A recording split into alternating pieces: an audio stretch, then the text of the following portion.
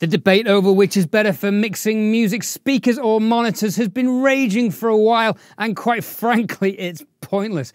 In this video, I'm not going to give you a list of pros and cons for which one is better. That would be boring. But what I am going to do is talk through how and why I use both formats throughout the recording and mixing process to hopefully help you decide which format is more beneficial to you if you can only choose one or the other. To help me with this video, Adam Audio have kindly sent me a set of their T5V studio monitors and a set of their Studio Pro SP5 headphones, which we're going to be reviewing in this video as well. Now, if you do want a list of the pros and cons, fear not, I have you covered. I've compiled a PDF chart, which is downloadable from my website through the link in the description below.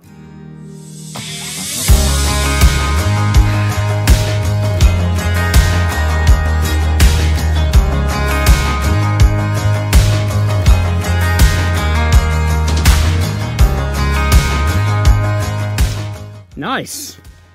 These are quite lightweight. Oh, catch. Literature. Studio Pro SP. Oh, it's got one of those peely. Ooh, should we? I'm liking the case. That's awesome for travel. Does it have a clicking mechanism? Ah.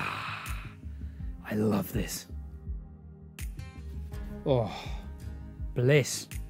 Oh, they are comfortable. They're quite isolating as well. Oh, looking forward to hearing these.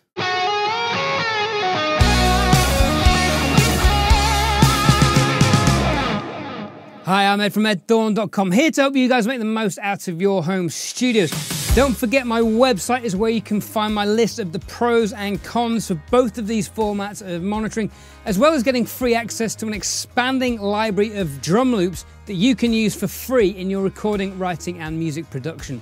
Now, if at any point throughout this video you consider purchasing these items, there are links in the description below for your convenience to the best deals online. I do get a small commission from this, but it's a great way to support the channel if you found value in this content. So, I use both monitors and speakers for music production, but before we get into how, in what order, and why, let me know which headphones and speakers you're currently using in the comments below. Now, most of what I record in this studio is drums and vocals. So this usually involves condenser microphones as overheads on the drums and my trusty JZ V67 on vocals. As a result, headphones are imperative for both of these instruments because they isolate the microphone from bleed from the headphones or the click track or what I'm recording along to.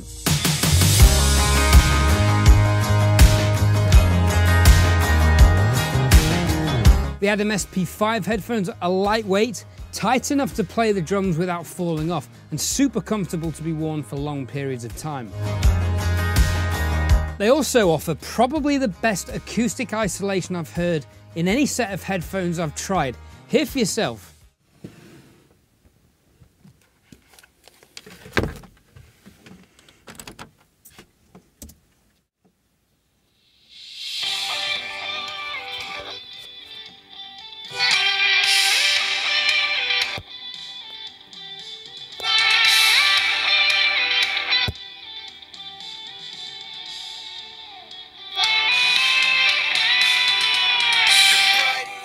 Now, once I've recorded, I'll unmute the speakers, which is super easy to do on the Apollo Twin audio interface, and I'll listen back to the take or takes.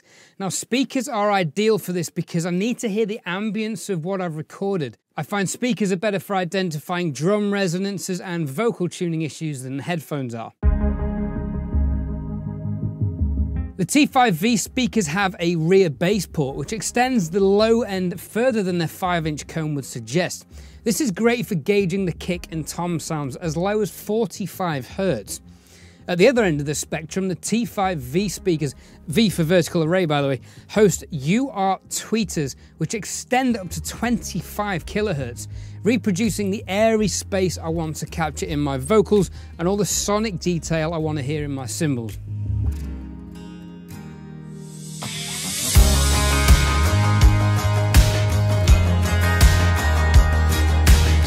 Now these tweeters are fitted with precision waveguides with the same dispersion control attributes as the high frequency propagation system used in Adam's flagship S-series studio monitors. These are expensive speakers. And for you guitarists who want to track directly into your audio interface through digital amp sims, these speakers seriously crank and barely distort. I could not believe how little distortion there was at maximum output and the sound remained impressively even. Moving on with the process, and once I've compiled my takes, I'll dive back onto my headphones to edit them. Now the SP5 headphones are a closed back design, which really isolate the audio from environmental noises such as traffic, neighbors, other drummers, and enable me to accurately identify any pops and clicks between audio cuts and crossfades, which I might miss using speakers. The next stage in the process is mixing, which for me involves five stages. Number one is level balancing, for which I use speakers because the crossfeed of hearing both speakers in both ears and the reflections in the room creates a more realistic listening environment that will translate better onto different sound systems. Stage two is panning. Now, carefully placing your instruments in a mix and creating a precise stereo image is much easier with headphones, in my opinion. Adam Audio teamed up with Ultrasone to make the SP5s, the German headphone company who created S-Logic technology that offsets the speakers in the headphone cups and has them facing downwards so the audio hits the outer ear first. This utilizes the auricle anatomy of the ear, which is responsible for us helping perceive distance and direction of sound. Now this is ideal to help us accurately place our instruments in the stereo field.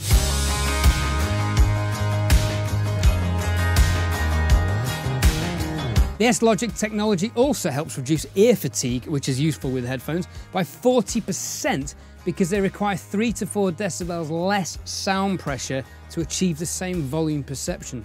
Interesting. Stage 3 is EQ and compression, and I think both tools can be really useful for the job here.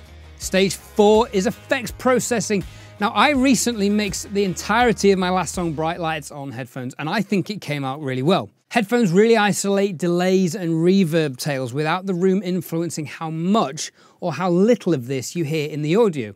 Although a common complaint about mixing on headphones is that because the reverb is so close and easy to hear, you can easily overcompensate and end up with less reverb or delay in your mix than you actually may need. Now, you could argue there are elements of bright lights that are a little too dry. The snare drum and the verse vocals come to mind. But have a listen for yourself and let me know what you think in the comments below.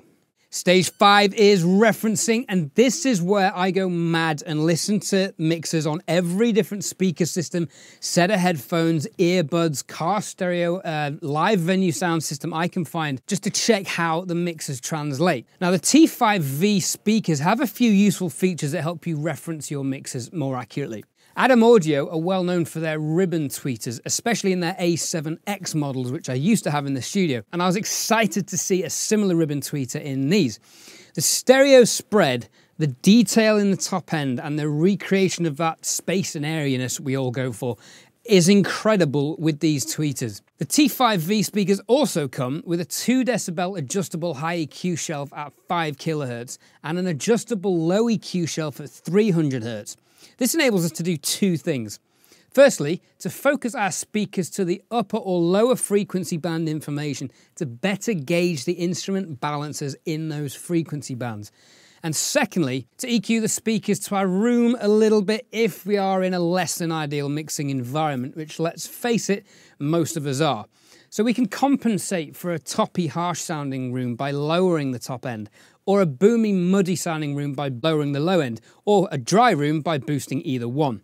These speakers also have another trick up their sleeve. The high frequency propagation system waveguide hones the dispersion of the speakers to an even plane in the horizontal axis, but tightly focused in the vertical axis.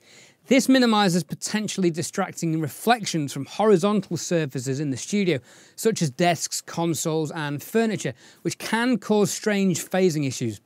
This ensures the stereo image remains consistent and creates a broad sweet spot even at high output levels, which is great in case you move around in the room like I do sometimes, or if you've got more people in the room and you can't always sit perfectly in the middle and two of you are sat off center, you're still going to get a good listening position.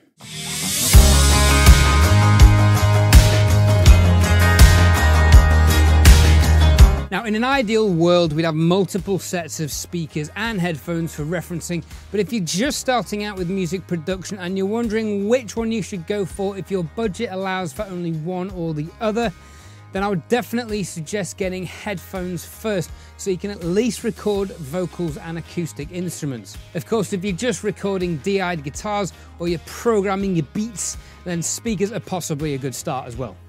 The ADAM T5V monitors offer exceptional value for money, and they are a really great choice for your first set of speakers, or even a second set of monitors if you want a lower cost set for reference listening. A comparison between cheap and expensive speakers is coming, so make sure to subscribe and hit the bell icon so you get notified when that video comes out.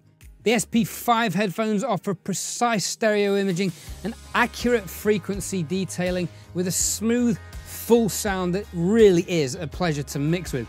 Now these are not what I describe as budget friendly headphones, but they do offer a level of accuracy and detail that justifies their price point. A comparison video between cheap and expensive headphones is also coming soon. Now these headphones are slightly top end heavy and this is backed up by the frequency response profile in Sonarworks you can see on screen now. However, this can be compensated for by using the SP5 profile that Sonarworks offer in the software. If you're wondering what Sonarworks is, it's an essential piece of software for any home studio, but I'm not going to go into what it is exactly in this video. Please click on the link in the description for this video on screen now. Please give the video a thumbs up if you've enjoyed this video. Like I said, it helps YouTube recognize it. I've been Ed Thorne. Thanks for watching. Keep an eye out for the comparison videos, and I'll see you on the next one.